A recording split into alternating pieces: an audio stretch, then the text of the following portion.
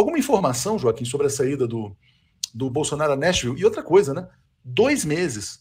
Já, assim, ninguém tem férias, ninguém questiona isso na imprensa, né? O cara já gastou um milhão com, com os assessores, tá lá dois meses, tá fugindo, tá fugindo da polícia, né? Pago pelo contribuinte brasileiro. É, o Flávio Dino concedeu uma entrevista ontem, foi questionado sobre a extradição do Alan dos Santos, disse que os Estados Unidos estão colocando questionamentos sobre a extradição. É, tem coisas muito interessantes, assim, talvez a, a justiça brasileira não consiga alcançar a extrema-direita. Né? As conexões do bolsonarismo com a extrema-direita internacional são muito grandes. E talvez isso tenha né, infiltrações na justiça americana também. Existe uma rede de extrema-direita protegendo os bolsonaristas nos Estados Unidos. Bom, vou dizer mais uma coisa para vocês. Então, o, essa rede inclui Klux Klan, tem juízes. Não pense que o Biden manda em tudo. Nem chega no Biden. Então, numa situação dessa, isso tem outros níveis de decisão e a extrema-direita está hoje emaranhada em governos. Lá, Estado pode muito, unidade da federação, e eles podem muito. É, a Flórida hoje é um partido republicano, não é muito aliado ao Trump, mas é, é, é partido republicano. O, o, seja como for, eles, têm, eles estão tendo proteção e de dinheiro. Existe uma igreja que está fazendo lá, a igreja evangélica, está fazendo uma vigília pelo, pelo, contra o Lula, etc., já faz muito tempo. Eles estão fazendo essa vigília lá nos Estados Unidos, tá?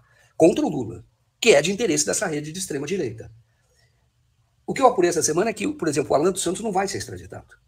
Ele conseguiu asilo nos Estados Unidos. Entendeu? Se ele tem asilo, ele não vai ser extraditado. Entendeu? Então, pode ter muito barulho aqui, ali, etc. O, existe uma prisão decretada aqui, mas ele obteve asilo. É aquela história que ele mostrou a licença para trabalhar, etc., é consequência do asilo. Então, ele, a informação que eu tenho é que ele obteve asilo. A informação que eu tenho é que o Bolsonaro procurará asilo também nos Estados Unidos. Quando saiu aquela notícia na Mônica Bergman, eu falei, essa semana eu vou reafirmar aqui. E é bom que vocês saibam. Quando surgiu aquela notícia na Mônica Bergamo de que os ministros falando em off do Supremo Tribunal Federal e do STJ dizendo o seguinte: olha, nós não vamos prender o Bolsonaro e não vamos deixar prender. Ele vai ser só inabilitado politicamente.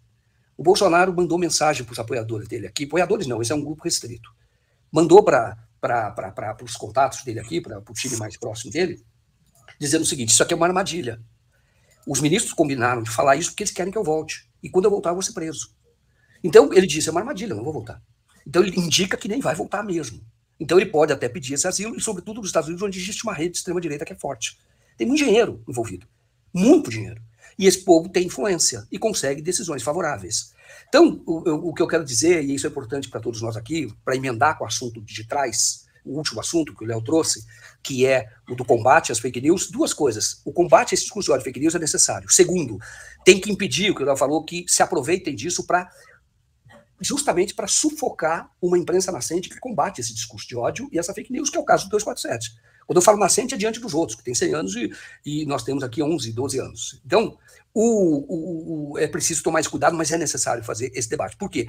Porque eles continuam vivos. A extrema-direita está viva. A extrema-direita tem um discurso que pode pegar. E que pega, não é só que pode pegar, pega. Então, é, não pense que, que, as pessoas falam a vitória do Lula agora estão por cima e acabou. Não acabou nada. O risco de, do, do, de um endurecimento do regime existe é muito grande. Agora, isso, para concluir, dentro do que nós estamos comentando, a proteção ao Bolsonaro, aos palcos que estão dando a ele lá nos Estados Unidos, na minha avaliação e pelo que eu apurei, faz parte, tudo isso faz parte de uma proteção que se dá especificamente a ele, porque há um movimento internacional de extrema-direita que tem o Brasil como um terreno fértil.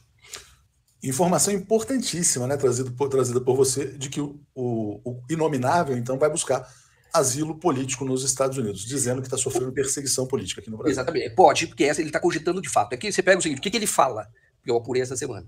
Que ele volta para o Brasil se houver mudança de cenário.